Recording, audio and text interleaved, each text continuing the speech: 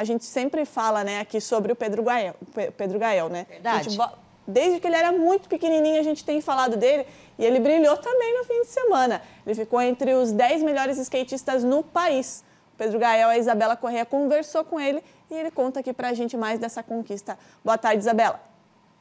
Olá, uma boa tarde para você, para quem nos acompanha no nosso balanço geral aqui especial, no nosso bloco de esporte.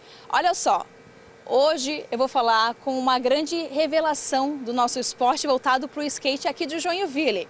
Ele já está lá se aquecendo, nós estamos aqui numa pista na nossa cidade.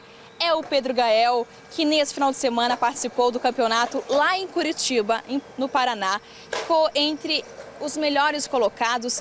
Ele que estava entre os 24 melhores subiu para décimo entre o todo o país e agora então chega a Joinville para a gente bater um papo muito bacana para ver como que foi a competição, como que está o planejamento para o próximo ano, porque essa foi a competição para finalizar 2023, mas o próximo ano já chega com vários projetos para ele. Pedro, boa tarde para ti. Fala pra gente como que foi o campeonato lá em Curitiba, que tu já me conversavas antes, que estava bem quente. Boa tarde. Então, lá tava bem quente mesmo. Chegou a acho, 47 graus, sensação térmica. Eu não consegui completar minhas voltas porque eu passei mal, mas foi bom o campeonato, fiquei em décimo.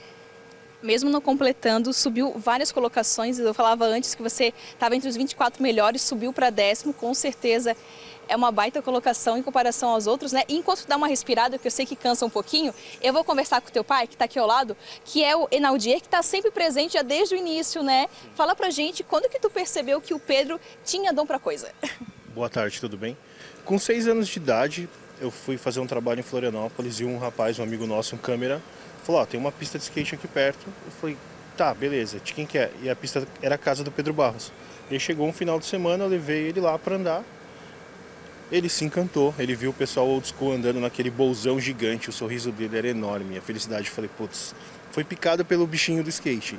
E desde então, meu, todo final de semana skate, skate, skate, skate. O carro antigo, como eu falei, 277 mil km, só para levar ele para andar de skate. Aí depois abriu aqui essa pista maravilhosa. E aí a nossa casa é isso aqui, né? É o dia inteiro aqui, a gente às vezes vem às 8 da manhã para cá, anda até às 9 e meia à noite, ele sai da escola às 5h15 ali, 5h30, a gente volta para cá e fica até às vezes 10 da noite andando.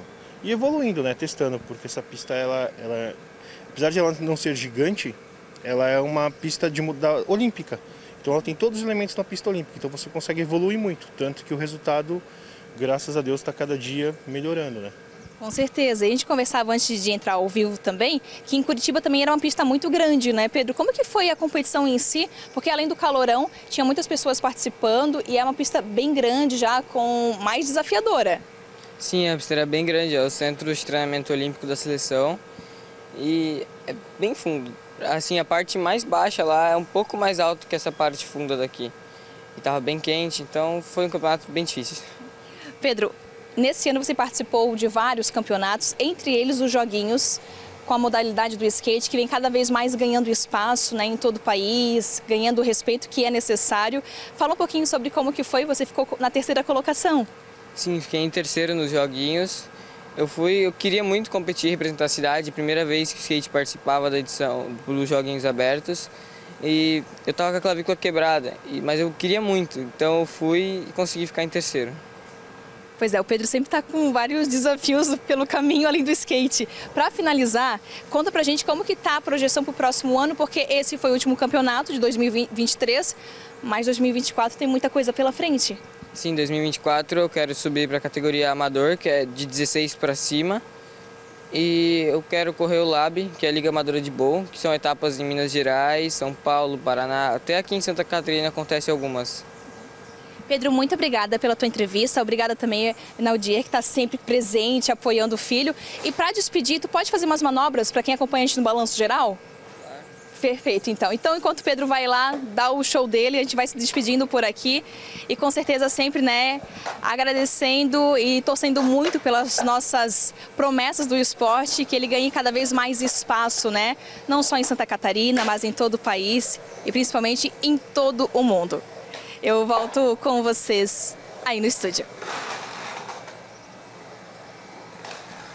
Mas, né, Sabrina, como eu falei, a gente acompanha ele desde pequenininho, passou mal e ainda assim ficou entre os 10 melhores aí do país na categoria dele de 12 a 16 anos. Então, isso já mostra o talento e a dedicação do Pedro Gael, que a gente já conhece de longa data e o pessoal aí do Brasil todo está conhecendo também, né, Sabrina? É verdade. Vale destacar nesse apoio a família, né? O pai ali ao lado, Enaldier, desde sempre. A primeira reportagem que a gente fez com ele, eu sempre faço questão de falar, a avó deixou a parte de trás da pra casa pista. virar a pista para ele treinar. E tá aí com apoio, com dedicação, porque nessa fase da adolescência, você manter essa disciplina é desafiador.